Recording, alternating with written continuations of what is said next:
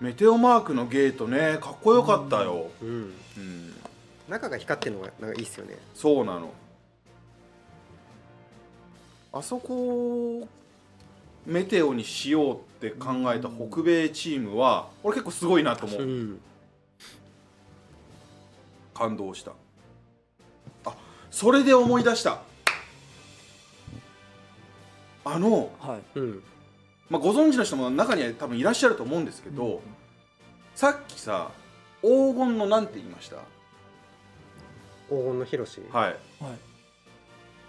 ヒロシですよね、ヒロシですね。PV に映ってる姿を見た時にはい。日本のプレイヤーは「ヒロシだ!」って言うでしょ？ああ確かに。ヒロシは日本語ではそうですね。北米の人たちこれなんて言ってるか知ってる？知らないし北米のプレイヤーは光の戦士たちはヒロシが出てくるとメテオって呼ぶえー、あ正解いた。すごい。そうなんです。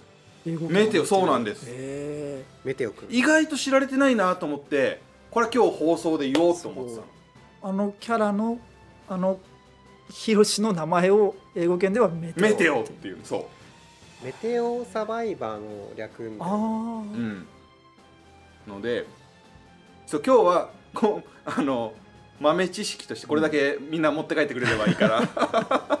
知らなかった人はちょっと得したなと思ってくれれば、ちょっとメテオって言いたくなります言いたくなるからね。はい。